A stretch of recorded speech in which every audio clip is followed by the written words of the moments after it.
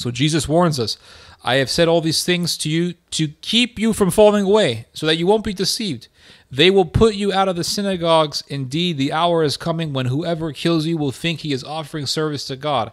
And they will do these things because they have not known the Father, not me. Now, you have Vatican II, the magisterium, and you have the entire Catholic Church teaching, the papacy, the magisterium, teaches people that the Jews and the Catholics worship the same God or that the Christian God is the same as the Jewish God. And Jesus is literally saying that the Jews do not know the Father. Jews don't know the Father. And remember what Jesus tells the, the, the rabbis. They say, Oh, we have Moses, we have Moses as our prophet. And Jesus says, No, you don't if you had Moses, you would follow me. In other words, if you had, if you followed the Father, God the Father, then you would follow God the Son. But you don't follow God the Son, therefore you do not follow God the Father.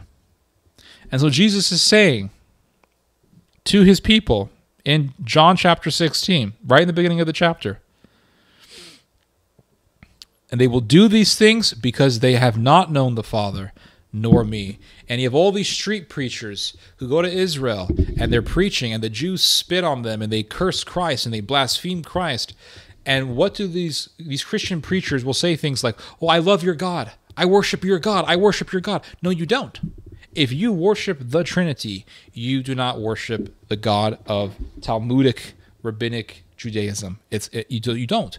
And if you say that you do, then you are antichrist you are following a God that is the antithesis to the Christian God. You are you are antichrist. You're going the opposite of what Christ says. Christ says they do not follow the Father. They do not know the Son. But but Vatican II says that they do, that they do know God the Father. No, they don't. We, we know about Islam. Everybody knows Islamic God is the, the we know about the Muslims, but there's more of a deception my I understand what you're saying, and you're right. Vatican II teaches that the Islamic God is is the same God, but it also teaches that the Jewish God is the same God as the Christian God. So what's happening is you have all these Christians who are like, "Oh, I stand with Israel. I stand with Israel because I follow the God of Abraham, Isaac, and Jacob, and all this stuff." But they're not. They're actually going contrary to what Jesus said. Jesus said, They're going to kill you in the synagogues because they do not know the Father and they do not know the Son.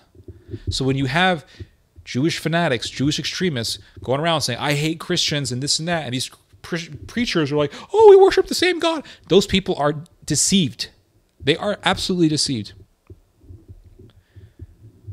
And I think what eventually is going to happen is the Jewish extremists in Israel are going to kill the Christians. There's going to be massive persecution as the presence of the far right grows. And I think eventually the Jews are going to kill each other. I think the Jews are going to kill one another. And that's my position on the ultimate condition for Israel. Zechariah 13. Two thirds of the people in the land will be struck down and die, says the Lord, but one third will survive. So there's going to be massive violence in Israel. Two thirds of, of, of the people there are going to be wiped out. How are they going to be wiped out? War. And I think there's going to be civil war, and I think there's going to be, uh, you know, war with an invading uh, force.